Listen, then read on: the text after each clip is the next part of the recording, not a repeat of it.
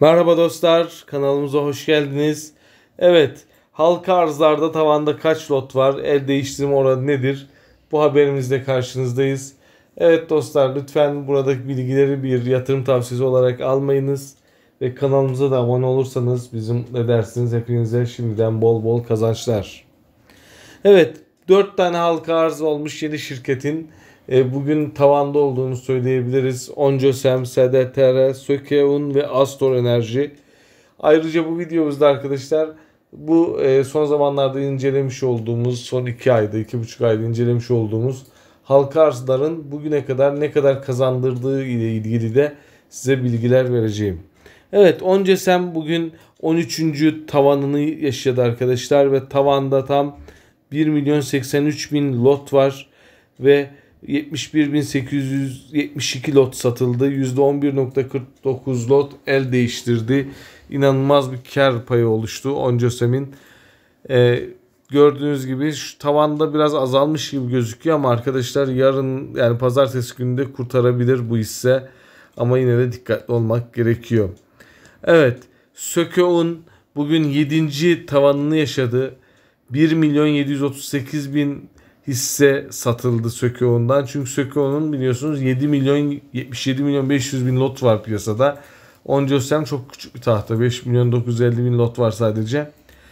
1 ee, milyon 738 568 lotun satıldığı e, Sökeo'nun el değiştirme oranı %7.34 ve 19 milyon 526 e, bin 491 lot var arkadaşlar tavanda. Bu da oldukça iyi bir rakam şu an için.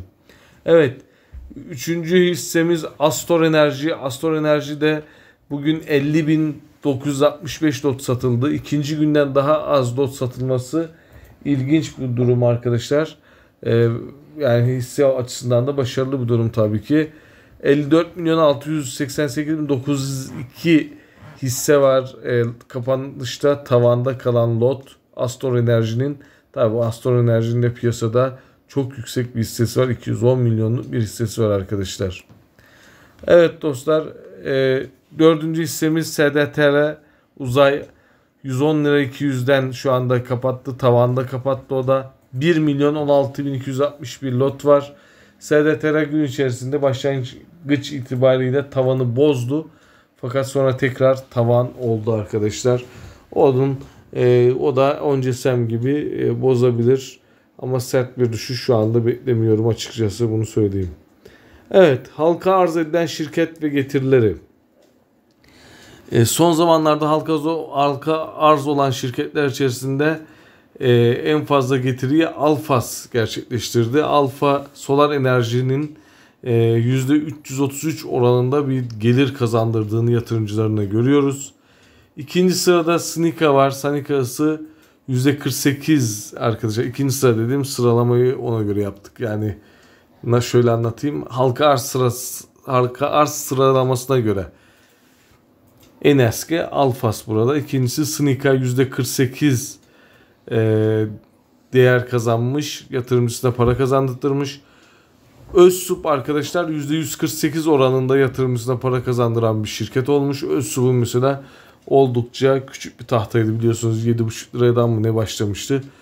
İyi bir gelir kazandırdığını görüyoruz. Platform turizm %58 gelir kazandırmış.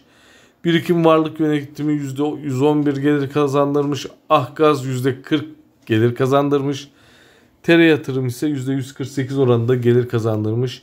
EYGYO %41, Oncesem %244 ve aynı şekilde SDTR'de %244 değer kazandırmış arkadaşlar. Tınaztepe %66 bu zamana kadar değer kazandıran hisselerden.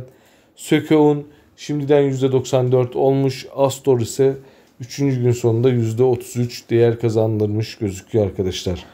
Evet dostlar lütfen buradaki bilgileri dediğimiz gibi yatırım tavsiyesi olarak almayınız.